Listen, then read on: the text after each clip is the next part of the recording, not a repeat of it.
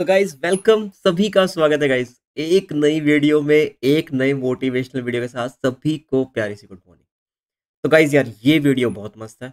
इसको मैं बहुत शॉर्ट में बनाया हूँ क्योंकि यार टाइम बहुत कम था और मेरे को बाकी मैचेस की प्रिडिक्शन भी करनी थी तो मैंने बहुत ही शॉर्ट में बनाया. तो गाइज़ आज का टॉपिक है ड्रीम लेवल पर या विजन लेवल पर या किसी भी ऐप पर टीम कैसे बनती है जीएल टीम कैसे बनती है? स्मॉल लीग टीम कैसे बनती है? और क्या क्या फैक्टर्स होते हैं जिसके ऊपर ये टीम बनती है?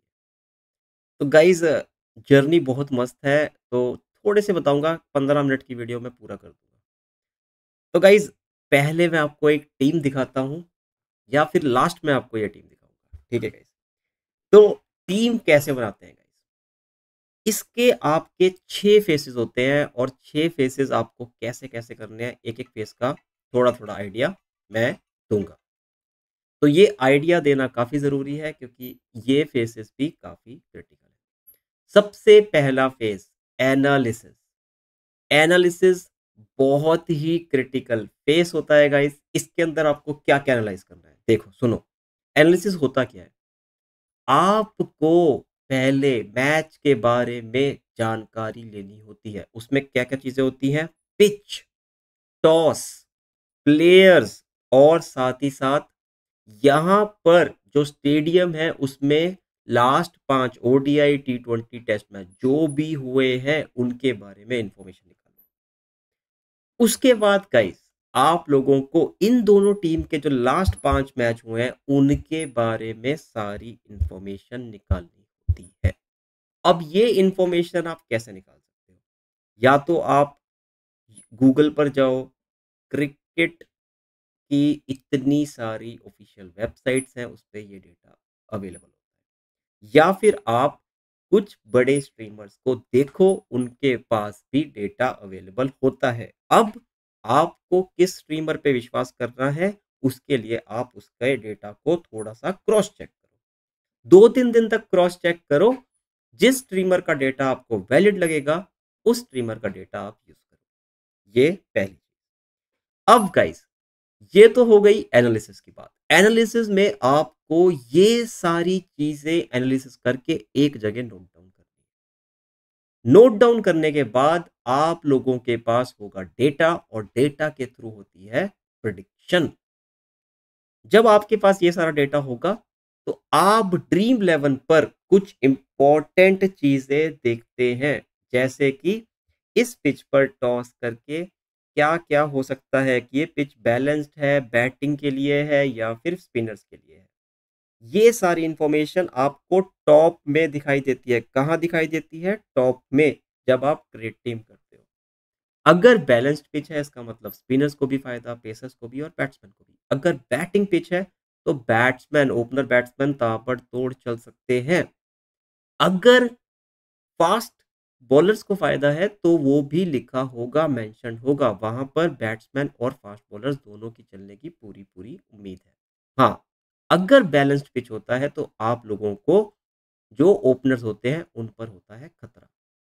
तो इसलिए बोलते हैं high risk high reward players ठीक है गाइस अब बात करते हैं ट्रंप कार्ड प्लेयर जो कि है दूसरा एनालिसिस का फेस जो कि हमारा दूसरा मेन पॉइंट ड्रीम लेवन पर सबसे ज़्यादा लोग खेलते हैं, इसलिए सबसे ज़्यादा डेटा वहाँ पर अवेलेबल होता है।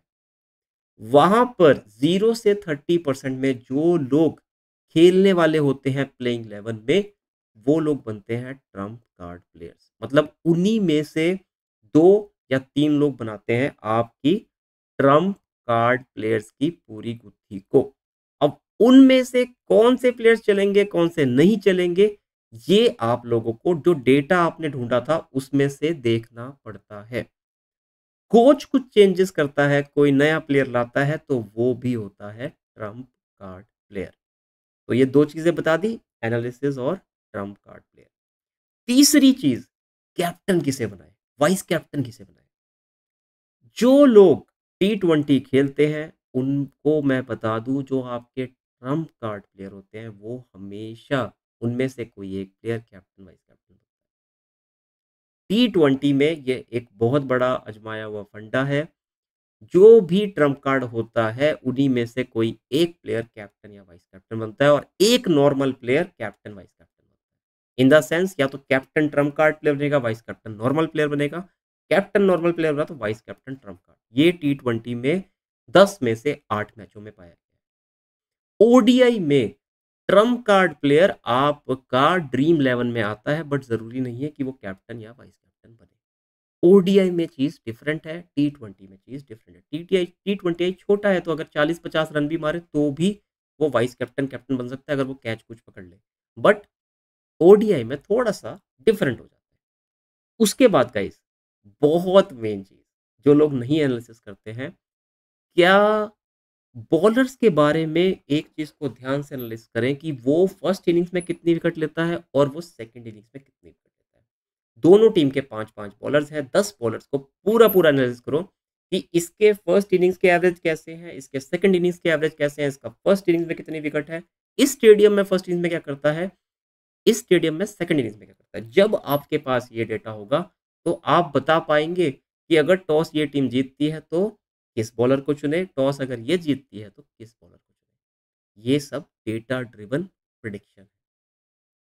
उसके बाद गाइस अब लोग पूछते हैं कितनी टीम बनाए क्या टीम बनाए कैसी टीम बनाए गाइस अगर आप लोग इस बात को समझते हैं, एक टीम से जीतना मुश्किल है। एक टीम से जीतना मुश्किल है, किस्मत चल गई तो जीत जाओगे, नहीं तो नहीं जीतोगे। बट आपको डिफरेंट डिफरेंट कॉम्बिनेशन ट्राई करने पड़ेंगे।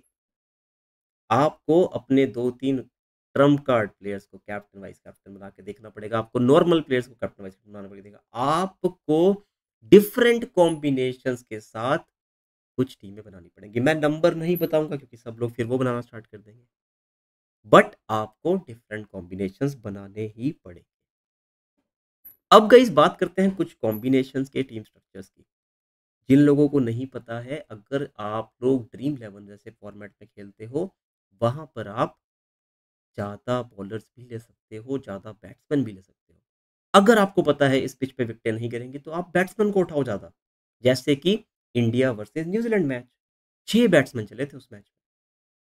तो आपको अपने कॉम्बिनेशंस में कुछ ऐसी टीम भी बनानी चाहिए जिसमें 6 बैट्समैन हो या 6 बॉलर्स हो या सात बॉलर्स। ये वाली टीमें पैसा वापस आ जाता है, ठीक है? बट अगर किस्मत चल गई तो आपको बहुत कुछ वापस आ जाएगा। तो गाइज़ आपको बैटिंग कॉम्बिनेशन, बॉलिंग कॉम्बिनेशन वाली टीम भी बनानी चाहिए। चाहे वो चले या ना चले, जो लोग जीएल खेलते हैं उनको ये बनाना चाहिए। स्मॉल लीग, अब बात करते हैं स्मॉल लीग। स्मॉल लीग में क्या प्रॉब्लम है? स्मॉल लीग में आपको ये बात समझ ही नहीं आती कि आपको टीम में क्या रखना है, क्या नहीं रखना है। स्मॉल लीग में ऑलराउंडर्स को कैप्टन, वाइस कैप्टन बनाना ज़्यादा बेटर ऑप्शन रहता है बैट्समैन या बॉलर से। टेन में से 6 मैचों में ऑलराउंडर को कैप्टन, वाइस कैप्टन बनाना बेटर है। क्यों? क्योंकि स्मॉल लीग में आप 1v1 खेल रहे हो। अगर आपका बैट्समैन फेल हुआ, आप और वो कैप्टन हुआ, आप खत्म हो जाओगे। बट अगर आपका ऑलराउंडर फेल हुआ इन द सेंस बॉलिंग में फेल हुआ, तो शायद बैटिंग में आपको रन मार दे और आपकी कैप्टनसी के पॉइंट्स बना। स्मॉल लीग में 6-5 का कॉम्बिनेशन ज़्यादा बेटर रहता है। अगर आपको पता है सामने वाली टीम बहुत कमज़ोर है, तो आप 7-4 या 8-3 का कॉम्बिनेशन ट्राई कर सकते हैं स्मॉल लीग में। स्मॉल लीग में आप लोग छोटा पैसा डालकर ज़्यादा पैसा कमा सकते हैं क्योंकि वहाँ पर 1v1, 1v2, 1v3 मतलब एक बंदा दो लोगों के खिलाफ या 3 लोगों के खिलाफ खेलता है। बट उसमें कभी-कभार इन्वेस्टमेंट भी करनी पड़ती है ज़्यादा। अगर आप 2900 रुपये डालते हैं, चार मेंबर का कॉन्टेस्ट खेलते हैं, दस हज़ार रुपये जीतते हैं अगर फ़र्स्ट आते हैं।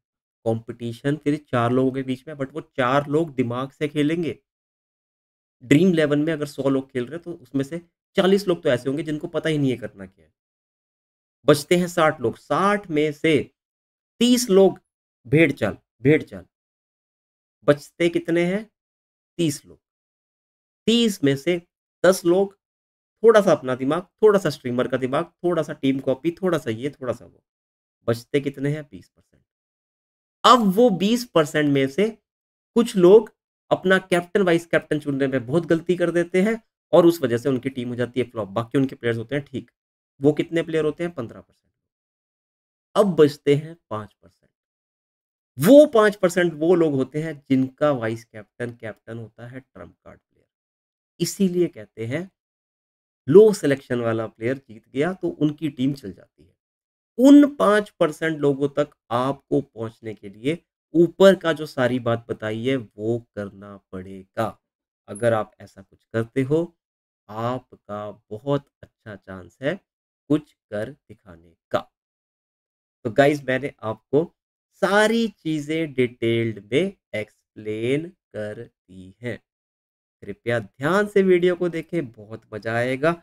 और मैं अब आपको दिखाता हूँ एक बहुत ही मस्त टीम जो मैंने बनाई थी India versus Sri Lanka world cup match के लिए। दुख होगा देखकर, मुझे बहुत दुख हुआ था, बस एक चीज़ मिस हुई और उससे पूरा पूरा रैंक वन मिस हो गया। क्या बोलूँ? दो चीज़ें बोल लो बट हुई तो थी।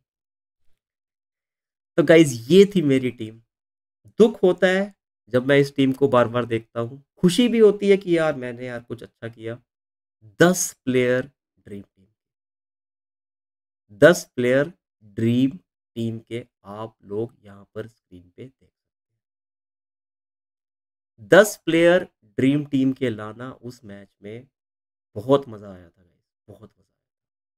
बस कुलदीप यादव की जगह मोहम्मद सिराज और 11 के 11 प्लेयर ड्रीम टीम के।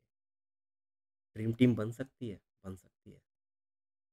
मेहनत करोगे, एनालिसिस करोगे, मोटिवेट रहोगे दूसरे को, इंस्पायर करोगे दूसरे की बेइज्जती करने की जगह, अपने आप को इंस्पायर करोगे तो ऐसी टीम भी बन सकती है। अगर मैं दस बंदे ला सकता हूँ तो आप भी ला सकते हो। इंसान है हम सारे। मेहनत करोगे तो दस क्या ग्यारह भी आएँगे। और अगर कुलदीप यादव की जगह सिराज होता तो ये पूरे ग्यारह बंदे एक और टीम बनाई थी। उसमें सिराज भी था। उस टीम में सिराज भी था, ये देखो। बट इस टीम में भी कुलदीप यादव ने मरवा दिया। बाकी प्लेयर्स भी थे। कैप्टन मेरा मोहम्मद शमी था, वाइस कैप्टन मेरा शुभमन गिल था। बट किस्मत नहीं थी बस मेरे साथ। क्योंकि मैंने जटेजा नहीं लिया इसमें और साथ ही साथ मैंने कुलदीप यादव ले रखा था।